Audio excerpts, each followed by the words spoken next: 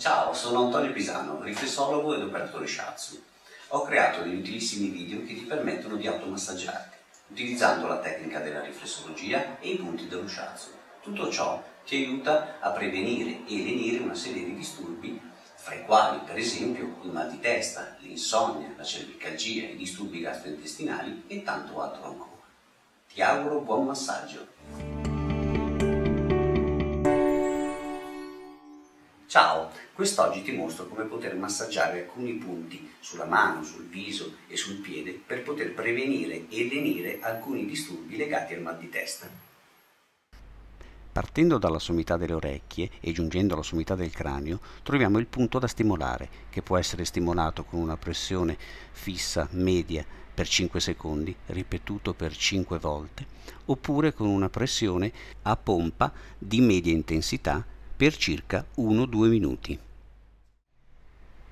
Una volta individuato il punto sulla mano, premete con la punta del vostro pollice con una media intensità per circa 5 secondi ripetendo per 5 volte questa serie. La stessa stimolazione può essere eseguita con una pressione di circa 1-2 minuti a stantuffo sul punto in questione. Ovviamente una volta trattata la mano destra passate a trattare la mano sinistra.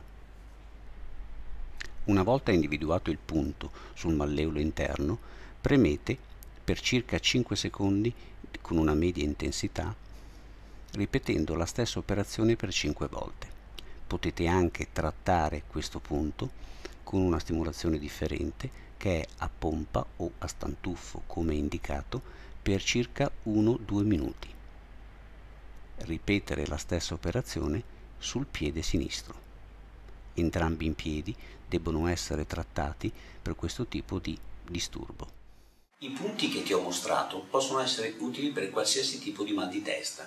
Utilizzali tutte le volte che vuoi e se sai di essere una persona soggetta a soffrire di mal di testa, trattali anche in forma preventiva.